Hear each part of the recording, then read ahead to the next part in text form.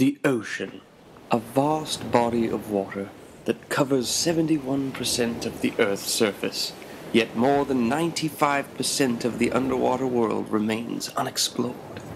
The ocean supports the life of 50% of all the species on Earth, sustaining that life by providing 20% of all the animal protein. Many creatures live in these waters. One creature is the jellyfish. Fascinating, elegant, and mysterious to watch in the water. Take a jellyfish out of the water, and it becomes a much less fascinating blob. This is because jellyfish are about 95% water, lacking a head and brain, a skeleton and blood, as well as many special organs for respiration and excretion. Jellyfish are pretty simple creatures.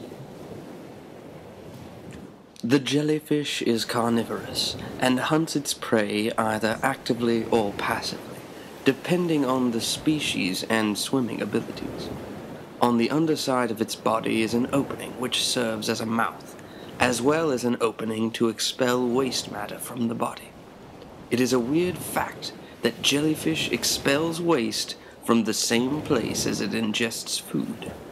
This mouth directly opens into a gastrovascular cavity, which serves as a stomach where the food is digested. Most jellyfish drift in the ocean, with their tentacles spread out to gather food. Some jellies, like the box jellyfish, are known to be good swimmers and will actively chase their prey. But in all types of jellyfish, the main apparatus for gathering or capturing food are the tentacles. These tentacles are armed with venom, which immobilizes their prey. The jellyfish has a number of arms around its mouth.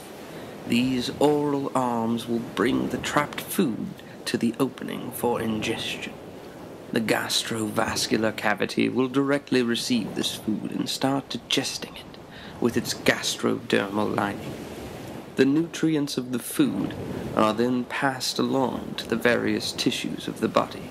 The waste is then excreted through the same opening, which sinks to the ocean floor, where it fertilizes the ocean so that new life can grow. Jellyfish reproductive biology is not well studied. The best studied genus is Aurelia, and that information will be presented here. There are separate sexes, male and female, though these are not easily distinguished by sight.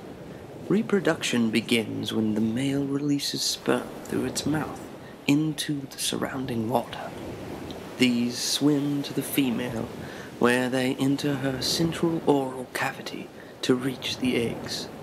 Once fertilized, the zygotes emerge onto the oral arms to develop for a time, becoming larva which settle on the bottom of the ocean. The resulting polyp begins to bud asexually, releasing free swimming medusa, which then go on to develop into adults. Some other scyphozoans live solely as polyps or as medusa and do not alternate between these two phases the way that Aurelia does. And eventually, death occurs.